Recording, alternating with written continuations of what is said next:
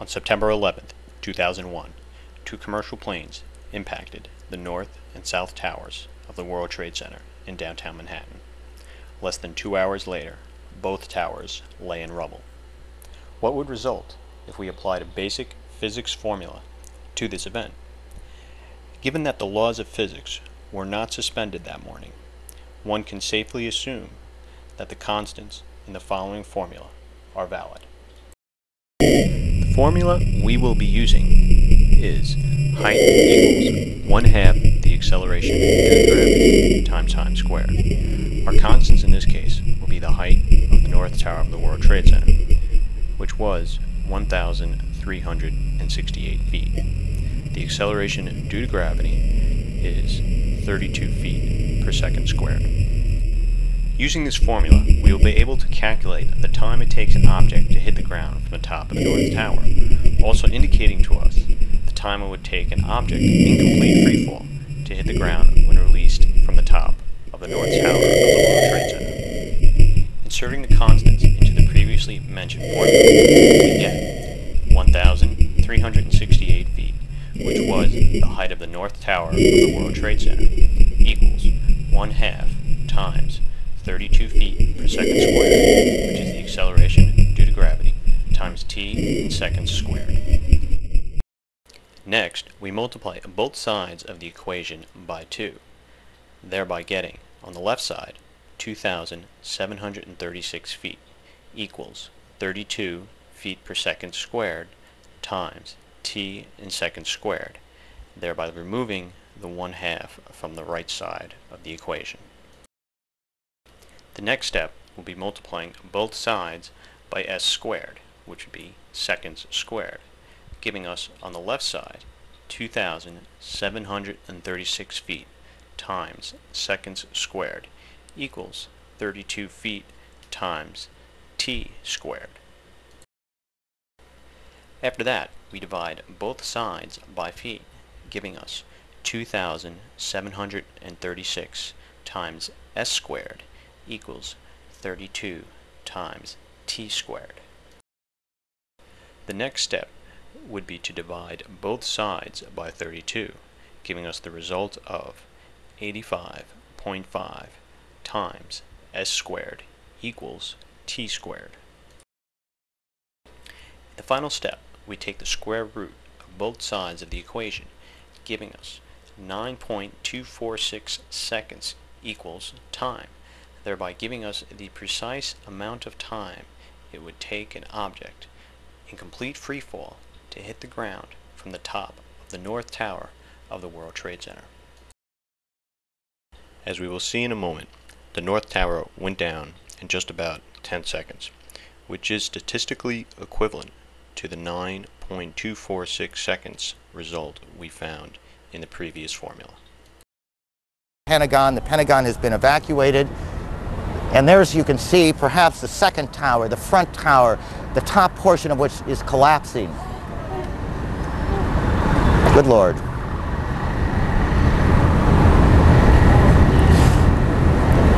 There are no words.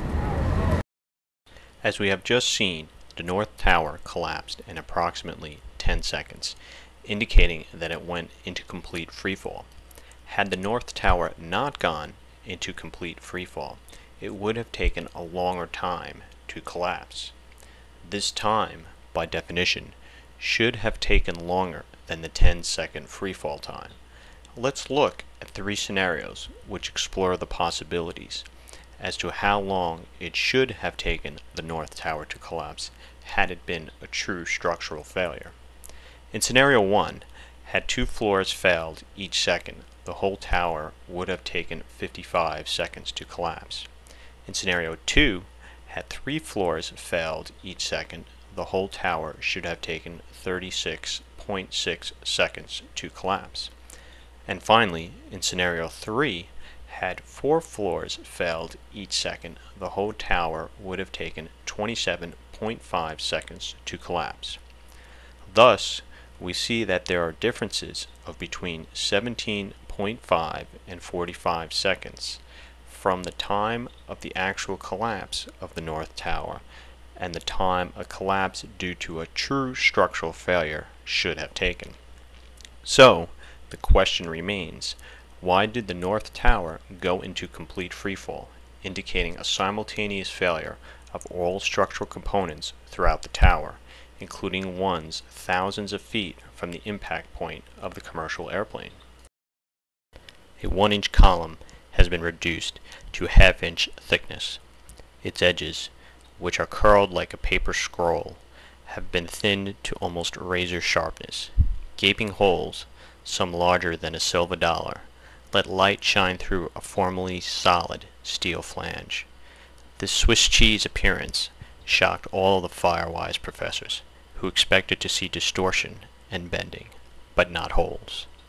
Comment about the steel columns from the World Trade Center, the deep mystery of melted steel, transformations, Worcester Polytechnic Institute, spring 2002.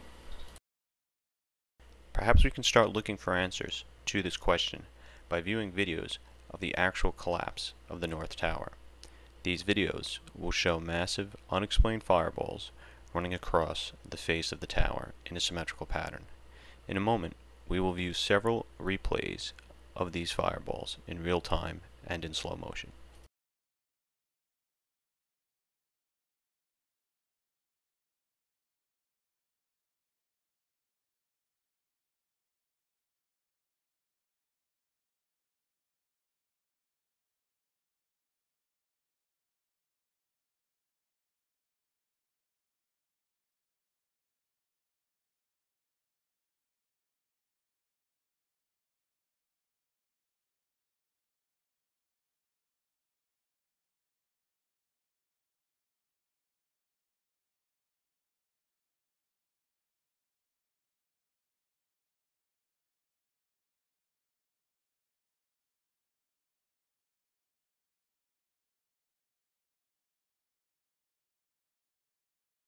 As we can see in the following still pictures, there are a series of symmetrical fireballs running across the north and west faces of the tower, resulting from explosions of an undetermined origin.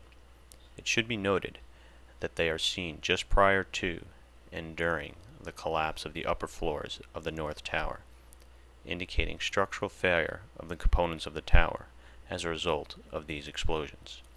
In the top three frames, the fireballs are seen on multiple floors.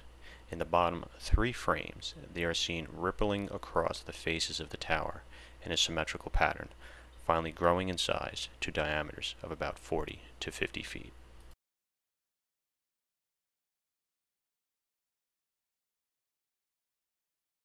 Among the unanswered questions are, what caused such huge explosions to be triggered with such precision?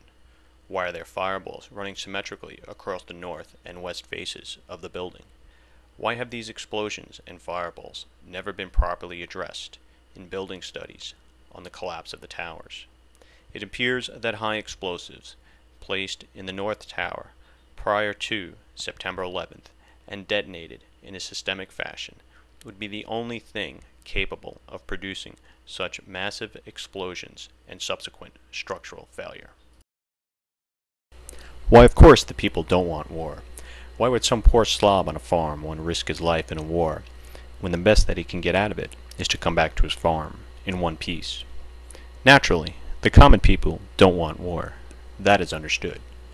But, after all, it is the leaders of the country who determine the policy, and it is always a simple matter to drag the people along, whether it is a democracy or fascist dictatorship, voice or no voice the people can always be brought to the bidding of the leaders. That is easy.